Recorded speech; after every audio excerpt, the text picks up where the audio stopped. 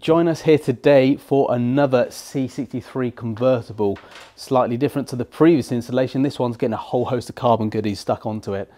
So what do we have in store? Well, Sam's already working on the front end. It's very efficient. Can't keep him away from cracking on in, on a Monday morning. So we're having a lot of carbon fibre on the front end, some bits and pieces on the side, as well as obviously the back end to match it and tie it all in together. You'll have to wait and see exactly how all this comes out before I start telling you what we're going to put on, but it's going to be quite exciting. There's a really nice bit at the back end that actually this is the first that we have in and the first that we're actually fitting for this particular part. You'll have to wait and see, but it's going to be exciting. So this is a facelift car. So from the front end, it's actually not a great deal of difference. The only real difference is the Pan America front grille. Otherwise, the front end's pretty much the same. You've got some slightly different lights and so on, but ultimately they're pretty much the same as a pre-facelift. At the back end, you have a slightly different diffuser, but again, the boot spoiler area is exactly the same. So we're excited to get onto this one because it's a new part. That's all I'm going to tell you guys. You have to wait until the end. So enjoy this one. Black on black on black and some carbon on top of it. It's going to look amazing. See you guys in a minute.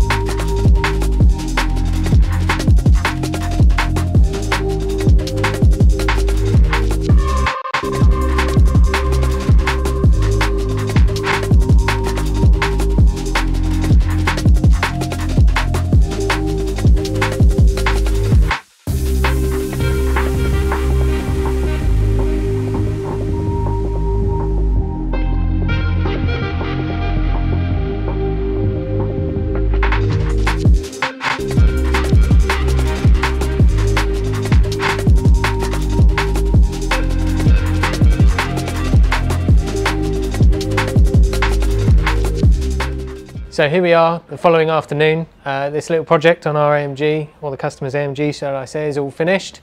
Um, we have fitted the majority of our carbon products to this car. Um, so what I'll do is I'll walk you through.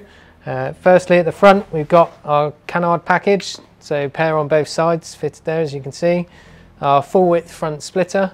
So it's a lip that goes all the way over. Three pieces with the strakes in the front.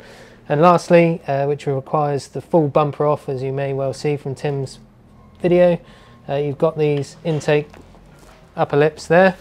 Uh, moving further back down the car, you've got our lovely door mirror caps. They completely change the appearance of the car, tie in nicely with the shadow black uh, side repeater indicator units there, but they're a complete full carbon part, one to one with the original part, and they fit straight on. So it's probably the easiest part of the job for me.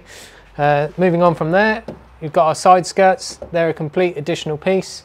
Uh, one piece, both sides, fit from underneath.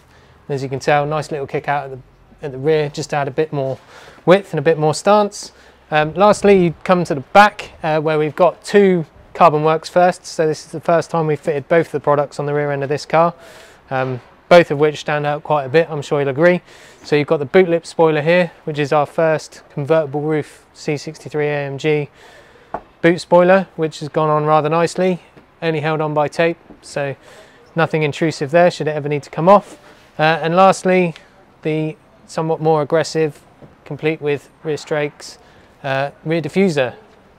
Retains the original exhaust trims, fits as standard with all the original parking sensors, a um, few fixings added underneath. But yeah, Adds a whole host more aggression to the vehicle to match its thundering V8 under the bonnet, as I'm sure you'll agree.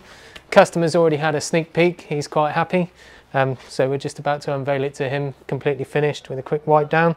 Um, we're pleased, the customer's pleased, so good day's work as far as we're concerned. Hopefully you guys like it. A like, sub subscribe or share would be very nice. Um, join us again soon.